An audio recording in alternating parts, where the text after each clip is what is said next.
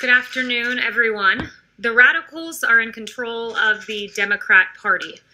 Make no mistake, Democrat radicals want to shatter norms and disregard precedent for the sake of the very norms and precedent they claim must be safeguarded. They've proposed court packing, an egregious idea. They've entertained impeachment as punishment for the president exercising his lawful Article 2, Section 2 authority to appoint, uh, nominate rather, a justice to the Supreme Court.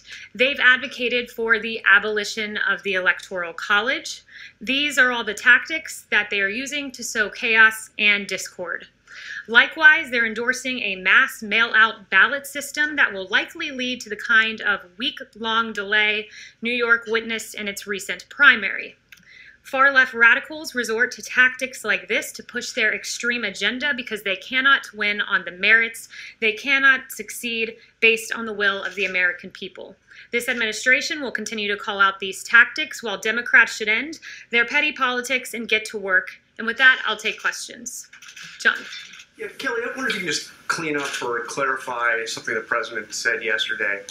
Um, if he loses this election, can you assure us that there will be a peaceful transfer of power? You are referring to the question asked by the Playboy reporter, right? I'm referring to you with the president being asked if, if there would be a peaceful transfer of power, and he did not uh, say yes. Yeah, so I believe. I'm asking you, will there be a peaceful transfer of power if he loses this? I election? believe that question asked by the Playboy Power. In fact, I think I have it right here. Uh, he was I'm asked. He was asked win, lose, or draw whether he would accept the transfer of power. I'm not entirely sure if he won why he would accept a transfer of power. That is um, maybe the deranged wish of that reporter, but that's not how But- but I'm uh, governing very works. direct and very simple question. If the president loses this election, will this White House, will this president assure us that there will be a peaceful transfer of power? It's a very simple question. the doing president- since, uh, The president will exec- accept the results of a free and fair election. Uh, but I think that your question is more fitting to be asked of Democrats who have already been on the record saying they won't accept the results of an election. Um, in fact, I have several of them here for you. South Carolina Democrat uh, Jim Clyburn has said uh, that Trump is not going to win fairly. Senator Barbara Boxer has said that the only way Trump will win is to steal it. That's according to Democrat Senator Barbara Boxer. Uh, the Washington Post has noted um, they have a headline Democrats may not trust the results of the election if Trump wins. And then you have uh, that beautiful quote from Hillary Clinton that Joe Biden should not concede under any circumstance. So I think your fitting is more more uh, fitting, a fitting question for Democrats. Yes. Kelly, uh, Kelly, just to understand this clearly, are the results legitimate only if the president wins? The president will accept the results of a free and fair election. He will accept the will of the American people. So, for clarity, if he loses and it's free and fair, he will accept. it. I've answered your question. He will accept the results of a free and fair election. Let me ask you about Breonna Taylor, if I can, right now. First of all, just a little housekeeping. Has the president spoken to the family of Breonna Taylor? Um, I'm not aware of any conversation that they've had, but our hearts do go out to her family. Has the president spoken to the officers who were shot last night in Louisville? I'm not aware of any conversations. So the president spoke to the officers who were shot in Los Angeles, but to this point, there's no indication the president at any point over the last several months has spoken to the family of Breonna Taylor. I guess why the, not? the president routinely um, speaks to victims of horrendous um, tragedies. I've been here when he's um, met with the parents who lost uh, their children to instances of police brutality. Um, it was a really beautiful meeting, and the president um, consoled them. He's talked to the widows who've lost um, their husbands, to police officers. He's um, spoken to widows of fallen soldiers. He routinely reaches out to victims of all kinds of atrocities, and he'll continue to do that. What is the president's Yes. message to the family of Breonna? I heard what you said.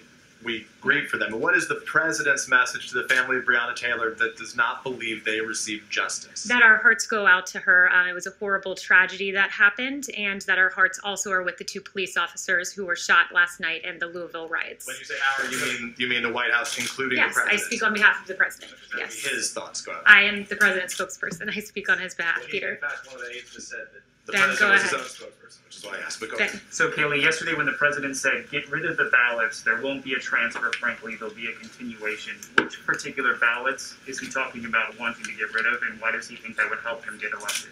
Uh, the president wants to get rid of mass mail-out voting, um, and that's not because it. He said clearly that that could go either way. It could damage either candidate's um, chances because it's a system that's subject to fraud. In fact, in the last 24 hours, police in Greenville, Wisconsin, found mail in a ditch, and it included absentee ballots. Um, and also, I can confirm for you that Trump ballots, um, ballots for the president, were found in Pennsylvania, and I believe you should be getting more information on that shortly. Here in the last 24 hours, they were found cast aside. So why in the past hour did the president tweet out, vote by mail ballots in my home state of Florida begin going out today. Make sure to request yours, fill it out, and send it in. The president has always made the distinction that absentee ballots, where you go through a process where you request a ballot um, and you mail that in, that is a system that works. But a system where you mass mail out to voter rolls, which are not kept and maintained, where in Los Angeles County, for instance, you have 120% of the county enrolled, that system is untenable. It doesn't work. It leads to what we saw in Nevada, where there were ballots languishing in trash cans and pinned to apartment boards. Okay, and finally, uh, today FBI Director Wray testified on the Hill that he has not seen any kind of coordinated national voter fraud effort in a major election, whether it's by mail or otherwise. So if the president's own FBI director says this isn't a problem, why does the president keep saying it is? Well, as Attorney General Barr has said, we've never had an election where we've done mass mail out voting like this before.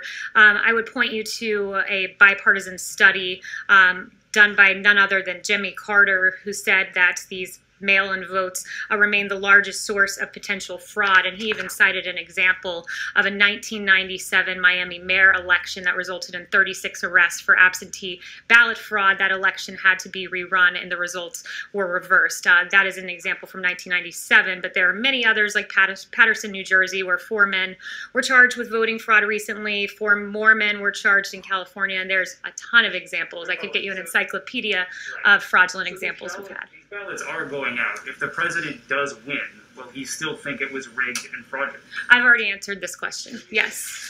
Kayleigh, uh, the president's niece uh, filed a lawsuit in New York State Court today alleging that the president and two of his siblings had cheated her out of millions and squeezed her out of the family business, and we were hoping to get uh, reaction from the White House. Yeah, uh, the only fraud committed there was Mary Trump recording uh, one of her relatives, and uh, she's really discredited herself. Yes. Um, Kayleigh, on TikTok, we know that the CFIUS negotiations are continuing. Can you say, has the president been briefed in the last couple days about how the CFIUS negotiations are going? Do you know when those negotiations will end? Yeah, not that I, I'm not aware of the brief his briefing schedule with regard to TikTok, but what I can say is what the president has said, which is that any deal has to be 100% as far as national security is concerned. And I'd refer you uh, to his comments as well as of those uh, from the Department of Treasury for any further specifics. I'd refer you there. Yes, Jeff. Uh, thank you, Kayleigh. The president suggested yesterday that he might overrule stricter standards at the FDA on the coronavirus vaccine. Why would the president not want strict standards for a vaccine on the coronavirus? Well, the FDA uh, does have strict standards. They are uh, the gold standard with regard to vaccines. Uh, the president was referring to the normal interagency process that happens uh, with guidance, and that includes running through um, the Office of Management and Budget. So that's standard operating procedure. And I would also point out, I spoke to Dr. Hahn this morning, um, and Dr. Hahn said that the guidance issued um, was a follow up to June 30th guidance that they put out, and it was um, guidance. It was guidance that they gave uh, to pharmaceutical companies to provide them with more regulatory clarity. Yes. Uh, the White House is describing this healthcare event today as a chance for the president to outline his vision. Is that something less than his plan? And uh, just a, a second part of that, does the White House think that it can address the country's challenges with healthcare solely through executive action? So um, the president will be laying out um, his healthcare vision today. I don't want to get ahead of exactly what that will look like. There will be um, some tangible actions taken, um, as well as the president really laying out, which I uh, something that I think has been overlooked, the real contrast between what Obamacare gave us between 2013 and 2017 and what the president has delivered. Um, and and I think we have a graphic to that effect. I'm not I'm not sure if they were able to put it together in time. Um, but with Obamacare, it is a fact that from 2013 to 20 2017, premiums in this country went up. In fact, they went up by 105% on the individual market. Um, and you contrast that with President Trump, what he's managed to do um, by rolling back a lot of Obamacare. And we've seen premiums on the individual market go down. Um, same for Medicare Part D and Medicare Advantage, the polar opposite of what happened with Obamacare, where those premiums went up. So premiums have come down under this president. Drug prices have come down under President Obama. Drug prices were up 15%. Um, under President Trump, they came down for the first time in 50 years. Um, and then finally, under Obamacare, you had choice that went down. One third of counties had only one insurer in the individual market. Um, and with President Trump, there are new affordable options like AHPs, STLDIs, and HRAs, uh, healthcare reimbursement arrangements, um, as well as employer sponsored insurance um, that has gone up. We've seen an increase of 1.5 million in 2019. So these principles um, have undergirded the Trump presidency, and he will use many of the same uh, principles going forward. And you'll get his comprehensive healthcare vision that will include some action items um, here in short order. Is this the extent of the plan, or is there more after this? This is going to be his full vision uh, that he has been talking about over the last few weeks, um, and it'll be in Charlotte, North Carolina uh, today. Yes. Thanks so much, Kayleigh. I wanted to ask about the Supreme Court uh, considerations. Um, has the president met with all the top candidates uh, that are under consideration? Are there any others? Who else is he? Are there any others that he still plans to meet with? Judge Lagoa, for example, does he still plan to meet with Judge Lagoa? So I'm not going to get into the president's private meetings with these candidates. He's noted that there are five he's considering. They all fall in the same mold as textualists, originalists, constitution abiding judges. On another note, today at the Supreme Court, uh, when the president approached, uh, you know, was was paying his respects to Justice Ginsburg, there were some people in the crowd that started to chant uh, to uh, respect her wishes, to uphold her wishes. Um, do you have some thoughts on those chants, which also, you know, included vote him out? Yeah, I think the the chants were appalling, but certainly to be expected when you're in the heart of the swamp. I travel with the president all across the country, Pennsylvania, North Carolina, Florida, Nevada, and everywhere we go, uh, the streets are lined with support, um, like I don't think any other president has had previously. Um, but with regard to precedent, as I've noted before, 29 times has an appointment uh, been made in an election year. Um, 29 times, and that was all 29 times um, when there was a vacancy um, at hand. So the precedent is very much on our side here. And I would also note the hypocrisy of Democrats. Joe Biden saying, I would go forward with the confirmation process as chairman even a few months before an election. Uh, Barack Obama saying, fill the Supreme Court vacancy when it was his tenure. And you had Kamala Harris saying as well uh, that Senate GOP is holding SCOTUS hostage for political gain. Join me in calling them to consider uh, President Obama's nominee. So they've really flipped here because the precedent is on our side and their hypocrisy is on full display. Yes. Um, the former number two of the Joint Chiefs of Staff, Paul Selva, who served under President Trump, he and 500 other national security and military leaders, they endorsed Joe Biden today. Do you guys have a comment on that, given that it doesn't seem like Jim Mattis and Joe Dunford, who also served under the president, are rushing to support him this election? Yeah, I think the president's record speaks for itself. Our military men and women, our veterans, love this president for a very distinct reason. Um, under Obama Biden, sequestration really gutted our military. You had the Navy at its smallest point ever, um, and the other military branches were absolutely gutted. Then you had President Trump, who came in and secured a record amount of funding for our military and our Department of Defense and built up our military. Um, when it comes to veterans, the appalling uh, way that our veterans were treated at the VA. Under Obama Biden, there was an IG report that as many as 300,000 veterans, think about that, 300,000 veterans could have died waiting for care. This president came in, put in the VA Missions Act, secured real choice and options for our veterans, um, and that's the reason that the military and our veterans love this president. But why is Selva endorsing uh, I can't speak to one person's reasoning, but uh, this president, when you look at what he's done, um, bringing our troops home and all he's done in aggregate, uh, the rank and file in this military love this president. Yes. Thanks, Kayleigh. Uh, two quick follow-ups on what we discussed earlier. Does the president still have confidence in the FDA commissioner based on his comments yesterday? Um, there are no changes. Dr. Hahn is FDA commissioner, so yes. And then to follow up, you said that you thought the chants outside the Supreme Court this morning were appalling. Uh, is there any issue with people peaceably demonstrating and chanting at the president? No, of course, everyone has a First Amendment in this country, but I thought it was an appalling and disrespectful thing to do as the president honored, honored Justice Ginsburg. Yes. Uh, What was the emergency call the president left yesterday's briefing to take? Um, the, I'm not going to get into a readout of the president's calls, but he regularly takes very important phone calls. Yes, definitely. Haley. Um, what is the likelihood that Sudan will be the next country to recognize Israel? And are there any new developments that you're expecting after the Emirates and Bahrain recognized Israel? So the president has noted that there are several other countries that want to make agreements of this sort. Um, I won't confirm exactly which country will be next, but rest assured, the world has looked at what this president did. Historic agreements between the UAE uh, and Israel and Bahrain, and you see deals like like you haven't seen in a quarter of a century. It was 26 years um, it, between the second uh, and the third deal, and just 29 days between the third and the fourth. This president's the only president to have um, overseen the normalization of relations um, between Israel and two Middle East countries. Um, to have two on his watch is a really big deal, and no wonder uh, two Nobel Peace Prize nominations as well. Yes, Louis. Yeah, thank you. Uh, what's the status of coronavirus vaccination this year? Do you expect this to be available before Christmas? Um, we do expect to have a vaccine by the end of the year. Uh, that has always been the goal, and we are still on track for that. Um, it's very important uh, that what the president has done with regard to commercial um, level manufacturing, as uh, Dr. Slaoui told me, the fact that you have scaled up to manufacture these vaccines in advance um, is a, a, something that this president has done because he's a businessman and thinks through um, exactly uh, how to get a safe and effective vaccine delivered delivered at record speed, and part of that has entailed manufacturing in advance.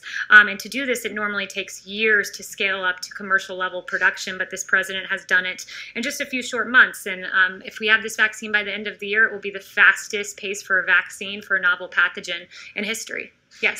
Thank you, Kayleigh. I wanted to go back to mail in voting for just a bit. Right now, five states conduct elections entirely by mail in prior to the pandemic with no cases or no major cases of fraud. Does that success not give the president confidence in mail-in voting? So those states have um, had time and a history of doing a, of having a workable system, um, and one that has been done for many years, for many election cycles, to move the entire country to mass mail-in voting all at once and have an entirely uh, new system, and, and, do that in just a few short months is an untenable and an unworkable proposition, um, and one that has shown uh, to not work well at all, especially when you look at the disenfranchisement, which I think is is really really uh, troubling when it comes to mass mail-in voting.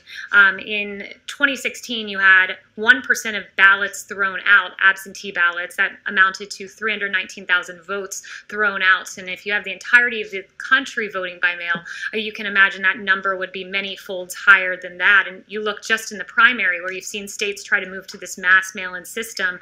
Uh, there were 100,000 ballots rejected in California, in New York, city. Um, one in five mail in ballots were rejected. Um, and as a former DOJ voting rights official said, um, it's nuts. That is just way too high when one in five voters, because of mass mail in voting, um, have their ballots thrown out. Yes.